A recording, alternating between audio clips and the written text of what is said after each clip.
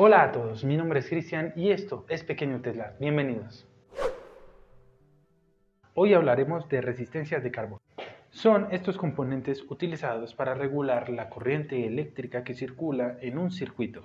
Estos componentes tienen unos colores pintados en su carcasa, los cuales ayudan a identificar su valor nominal, su valor numérico. En videos anteriores aprendimos que la tensión es decir, la diferencia de cargas, diferencia de potencial, se mide en voltios. Nuestra resistencia se medirá en un valor llamado ohmios, como aparece en pantalla. Ahora mismo están viendo en pantalla el código de colores. Por el momento parece complicado, se ve complicado, pero no lo es. Es de hecho muy fácil de interpretar y vamos a aprender a interpretar estos colores de una vez. Si lo notas, si tienes de pronto acceso a alguna resistencia de carbón en tu casa o compraste unas para el curso o habías comprado o tenías otras que de hecho son muy económicas, notarás que uno de los colores generalmente es plateado o dorado y se encuentra en las esquinas. Ese color siempre lo vamos a tomar como el último color porque este es un porcentaje de tolerancia, lo cual quiere decir que nuestra resistencia va a variar entre un 5, un 2 o un 1 o un 10% dependiendo del último color que tengamos aquí.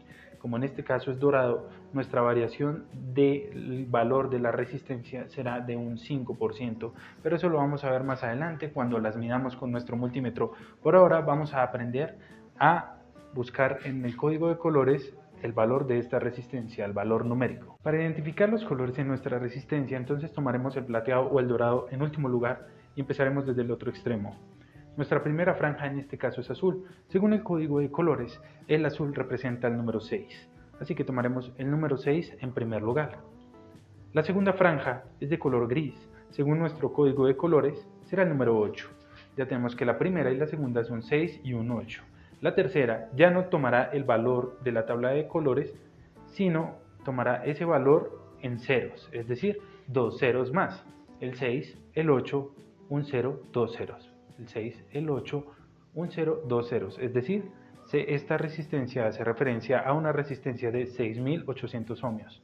Es así de sencillo interpretar la tabla de colores. Vamos a interpretar otra resistencia. Nuevamente con otro ejemplo.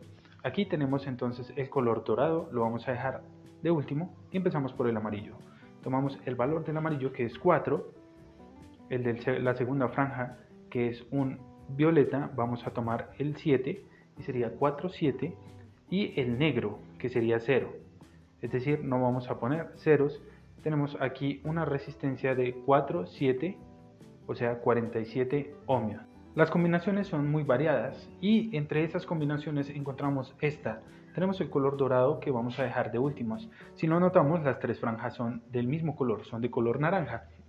Y el número que corresponde a nuestra tabla de valores al color naranja es el número 3. Así que nuestro primer número de la primera franja será 3, de la segunda 3 y la tercera tomamos el valor de la tabla pero para los ceros, es decir, 3 ceros. 33 y 3 ceros es igual a 33.000 ohmios. A eso hace referencia y así de fácil es mirar nuestras resistencias y su valor numérico. No es necesario aprenderse la tabla, basta tenerla, pero si te la quieres aprender, te la puedes aprender. Vamos con un ejemplo más y continuamos. Como último ejemplo tenemos esta resistencia, tenemos el color dorado que vamos a dejar para interpretar de último, ya que es la tolerancia, dorado es para 5%, y tenemos rojo que equivale a 2, tenemos un 2, otro rojo, otro 2, y marrón o café que equivale a 1.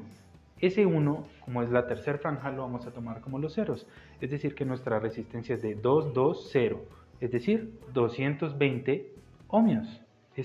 Así de sencillo. Nuestro último color es la tolerancia.